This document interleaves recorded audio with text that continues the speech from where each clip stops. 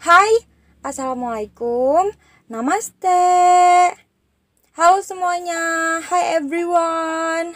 Masih dalam rangka menyambut Hari Kemerdekaan Republik Indonesia 17 Agustus 2020 Di video kali ini aku akan masak yang namanya pancake merah putih. Apa aja sih? Bahan-bahannya yaitu satu butir telur, 2 sendok makan gula pasir, setengah sendok makan vanili, 1 sendok teh ragi instan, 250 gram tepung terigu dan 70 gram bubuk red velvet.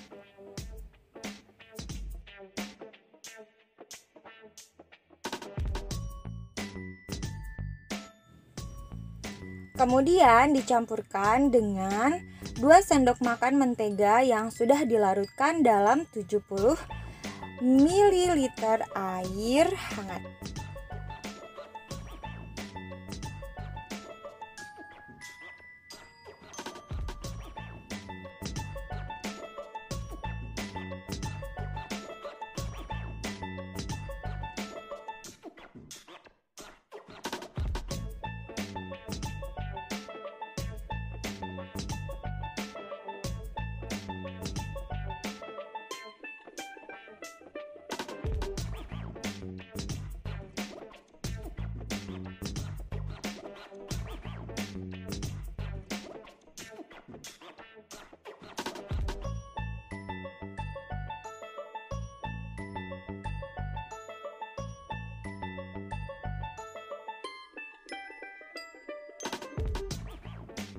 Pastikan diaduk hingga merata seluruh bahan dan hingga berbentuk seperti ini.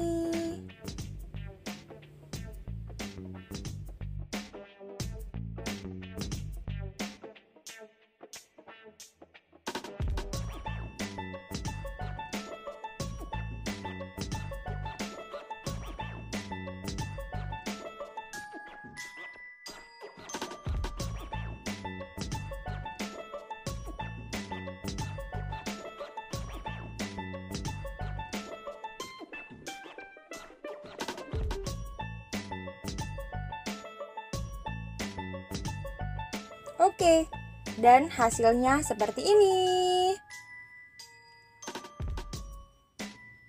Tahap berikutnya adalah memotong pisang menjadi bagian yang lebih kecil.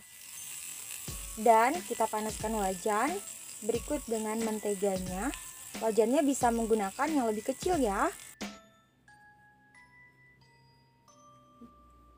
Dicetak sesuai dengan keinginan masing-masing. Kalau ini saya cetaknya dengan bentuk bulat yang tidak teratur. Kemudian dibalik biar matangnya menyebar ke dua sisi. Dan diolesin dengan krim coklat, kemudian ditaburin dengan potongan pisang, dan beberapa hiasan lainnya. Dan alhasil, taram! Jadi deh, kalian bisa coba ya. Ini rasanya enak banget, serius. Serius, seserius itu, seenak itu.